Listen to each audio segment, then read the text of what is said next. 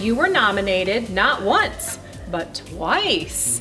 and of course selected as our Yay of the Day winner. So I want to tell you about your two nominations. One is Tracy Say. C. C. Oh, okay. She says that you are one of the hardest working teachers she knows, and the preschool babies are your priority. During a weather lockdown at dismissal, she went out of her way to grab all the preschoolers off the bus and take them back to the classroom for safety.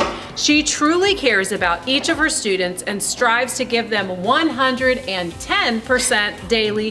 she says that you deserve a yay for your awesomeness. Oh, Yay! All right, your other nomination is from Lindsay Schwartz, and she says that you are a wonderfully kind and inclusive teacher. You have the unique challenge of teaching a classroom of preschoolers where some have individualized learning programs and some do not.